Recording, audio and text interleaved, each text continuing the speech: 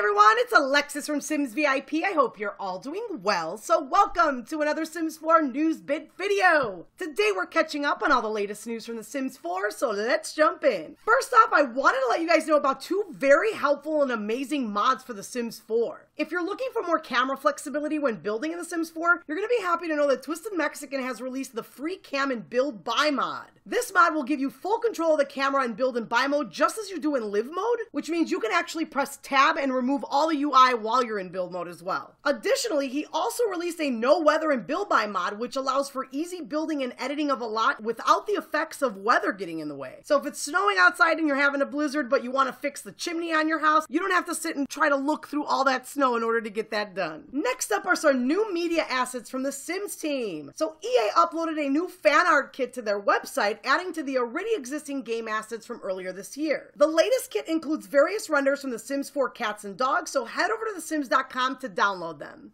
Next up is a sale on the Sims 4 base game. So if you're new to the game, you can purchase the game right now at 50% off at Origin. The Sims team sponsored the Teen Choice pre-show this year, so they're extending the sale until August 15. To redeem this discount on Origin, head over there, add it to your cart, and enter the promo code CHOICE SIMS at checkout. Next up is a first look at something new in Create a Sim. Not sure exactly what this is, but Sim Guru Ninja wished everyone a happy Friday last week by showing us what the Sims team is currently working on. As you can see here in the photo, it's a UV map of, of whatever it is that they're trying to create for Sims, so it's nothing really exciting. Maybe Ninja will let us know when it finally gets released. Next up, we have some news on the next game patch. So, SimGuru Kate announced yesterday that a new Sims 4 game patch will drop this Thursday, August 16, and confirmed that it will include some new free content for the game. The Sims team will also be hosting a live stream one hour after the patch, starting at 11 a.m. Pacific. Now, SimGuru Grant has confirmed that the patch does not bring any new game system features, but rather new content like objects and or clothing. As far as bugs are concerned, it has been confirmed that this patch will at the very least address the blurry screenshots issue issue. Now, as usual, we will be hosting the live stream on SimsVIP.com at 11 a.m. Pacific, and we'll have a replay available for those of you who miss it. Next up, there are some new game cards that are available now at Walmart. Now, as we reported back in 2016, most retailers ditched the empty code in the box physical versions of the games and replaced them with the new game cards cards. Now, unlike the Origin cash cards, which add money to your EA wallet for purchases on Origin, the Sims 4 game cards are basically a code on a card or receipt for the select games in The Sims 4. That means that whatever game is shown on the front of this card is the game that you're buying. Now, the other day I stumbled upon some new and larger versions of these cards at Walmart, and the person who was on duty there in the electronics department told me that some stores, including theirs, have opted for the game cards over the empty boxes. Now, as you can see on the screen here, for size comparison, the Best Buy version on the card is on the left and the Walmart version is on the right. Walmart and other retailers are probably likely going to shift towards these type of cards in the next few years to help reduce shelf space, theft, and inventory costs. Now, last but not least, the Sims 4 Laundry Day stuff is now available on consoles. So if you have an Xbox One or PlayStation 4, head over to the store and go ahead and download the newest game for The Sims 4.